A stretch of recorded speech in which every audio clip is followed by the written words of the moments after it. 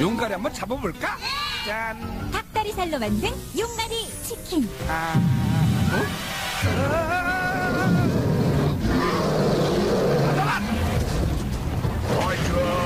아, 맛있어도 문제네. 무시무시하게 맛있는 용가리 치킨.